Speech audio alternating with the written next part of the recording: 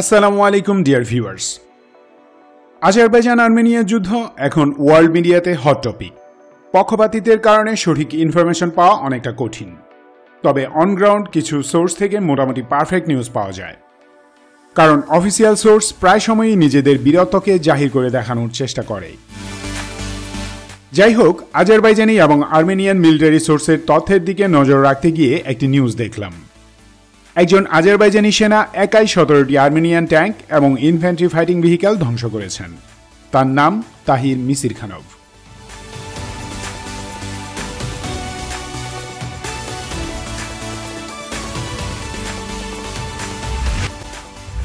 warrant officer Tahir Misir Khanov Azerbaijani আর্মিতে tank killer নামে পরিচিত।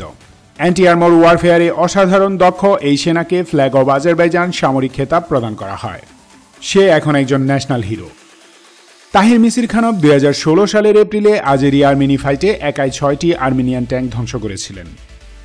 এবারের আর্মড ব্যাটলে তাহির আটটি আর্মেনিয়ান টি সেভেন্টি টু ও তিনটি ইনফ্যান্ট্রি ফাইটিং ভেহিক্যাল একাই ধ্বংস করেন।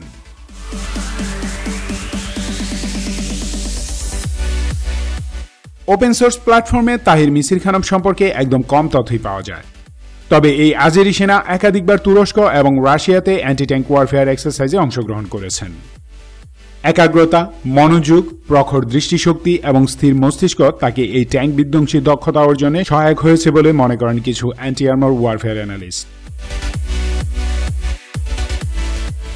সাধারণত ট্যাঙ্ক ধ্বংস করা হয় anti tank guided missile anti tank shell ও রকেট দিয়ে।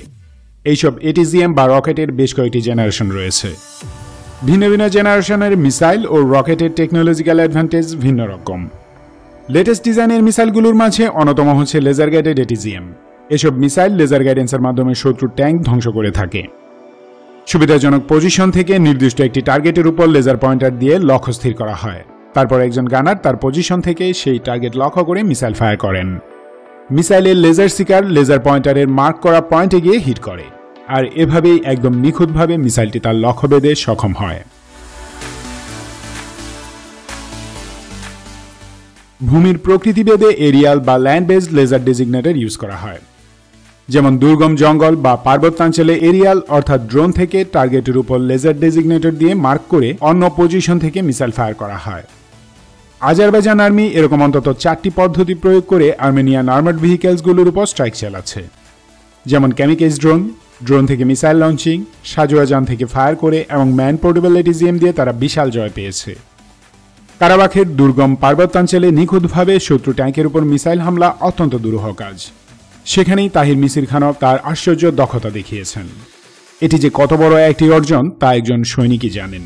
সাধারণ মানুষ তা বুঝতে পারবে না। আকাশে যুদ্ধবিমান, সারফেসে যুদ্ধজাহাজ, সাবসারফেসে সাবমেরিন আর ভূমিতে শত্রুর ট্যাঙ্ক, এগুলো ধ্বংস করা মারাত্মক গৌরবের কাজ। তাই তাহির মিসির খানব একজন সত্যিকার হান্টার কিলার। বলতে গেলে তিনি একটা হিউম্যান ট্যাঙ্ক। শত্রু ট্যাঙ্কের আতঙ্ক। Pray for Tahir Misir Khanov pray for me if you like the video then please subscribe our channel if you are not subscribe dear thanks for watching this video stay alert stay safe take care of your family love Bangladesh long life